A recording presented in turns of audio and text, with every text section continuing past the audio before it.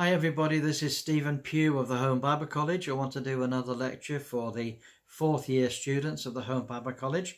This is lecture number 29 and it's all about the work of a deacon. In fact, the proposition is that the Christian deacon works alongside as a team alongside of the elders on behalf of the church and may be involved in parachurch activities and mission work such as poverty relief and other non-preaching ministries.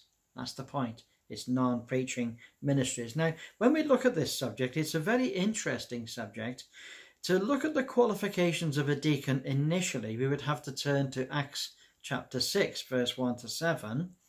Uh, it says, in, in those days when the number of the disciples was multiplied, there arose a murmuring of the Grecians, that's the, the Israelites who primarily spoke Greek, against the Hebrews, and that's the Israelites who mainly spoke Hebrews, because their widows were neglected in the daily ministration. Now, who are the people doing the complaining? It isn't the widows. It says because their widows. So it's possibly the sons or the family are moaning on behalf of the mothers. Then the twelve called the disciples unto them and said, called a multitude of the disciples unto them and said, It isn't reasonable that we should leave the word of God and serve tables. Wherefore, brethren, look out from among you seven men. And then they give the three uh, qualifications for these early deacons. The first is they should be of honest report. These are to be men who are known to be honest. Not just that they're honest, but that they're known in society as being honest men. They are to be men full of the Holy, Holy Spirit. These are to men to be men that are guided, empowered, and ministering in the power of the Holy Spirit. And thirdly, they're to be men of wisdom. They're to be men of wisdom. Wisdom is not knowledge. Knowledge is just the accumulation of, of facts that we know. Wisdom is the application of what we know to given circumstances. Now they said, appoint seven men of these of these qualities, and and whom we will appoint over this business.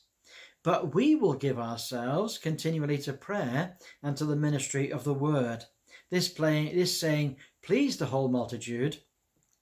And they chose Stephen, a man of full of faith and of the Holy Spirit, and Philip, and Prochorus, and Nicanor, and Timon, and Parmenas, and Nicholas, a proselyte of Antioch, whom they set over the apostles, whom they sent, who they set over the apostles, before the apostles, and when they had prayed, they laid their hands on them, and the word of God increased, and the number of disciples multiplied greatly, and a great number of the priests were obedient to the faith. So this was successful. The apostles were able to concentrate on their spiritual work of preaching and teaching, and the deacons took all of the responsibility away from the apostles of having to deal with the matters of feeding the widows. So the work of a deacon then is something that's described here in this very early passage. However, Timothy mentions it again in his first letter to Timothy. Paul mentions again in his first letter to Timothy, chapter 3.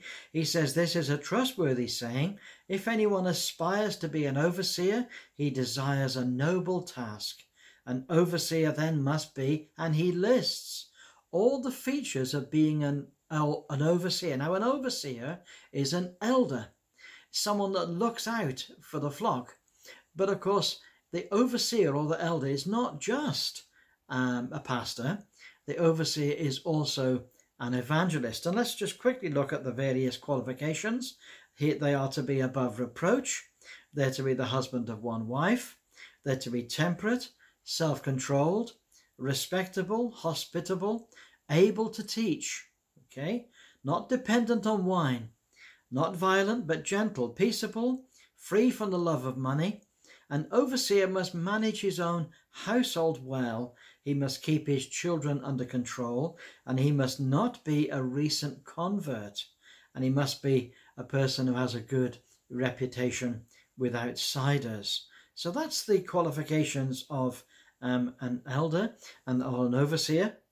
And of course, those that teach the church and those that teach the unbelievers are all um, overseers. However, he then turns to the qualifications of a deacon. And that's the bit that we really want to concentrate on today. He says the deacons likewise must be gifted, not double tongued, not given to much wine or greedy for money. They must hold to the mystery of the faith with a clear conscience. That is, they need to understand the scriptures. Additionally, they must first be tested, and then, if they are above reproach, let them serve as deacons. Now it's very interesting that here in the middle of this section about deacons, he breaks off in the center, in the center to make a comment about women. He says, in the same way, the women must be dignified, not slanderers, but temperate and faithful in all things. Why, why, why break off and talk about women in the middle? That's because there would be women deacons too. Okay, it doesn't mention anything about female elders, of course, but it does talk about female deacons. And then he goes on. He says a deacon must be the husband of one wife. So you see, switch back to talking about the male deacons. They must be the husband of one wife. They must be a good manager of the children. And they must be a good manager of his own household. Now, for those that have served well as deacons, acquire for themselves a high standing and great confidence in the faith that is in Christ Jesus. So, this is no menial task. This is no light duty. This is heavy duty. This is important duty. This is spiritual duty. These men, they may have to count money, they may have to distribute bread, but they are chosen for their spiritual qualities. They're chosen for their godliness. They're chosen for their wisdom. What a great honor it is to serve as a deacon. Now, there's no reference when you talk about the qualifications of deacons, there's no reference to them, there's no requirement for them to be teachers of the scriptures. They're not required to be a pastor, they're different to a pastor or a teacher, and they're different to an evangelist. But they understand the scriptures and they're holding fast to the faithful word. Well, there we are. That's our little lecture for today. We look forward to speaking to you next time. So have a great day, all of you. Bye for now.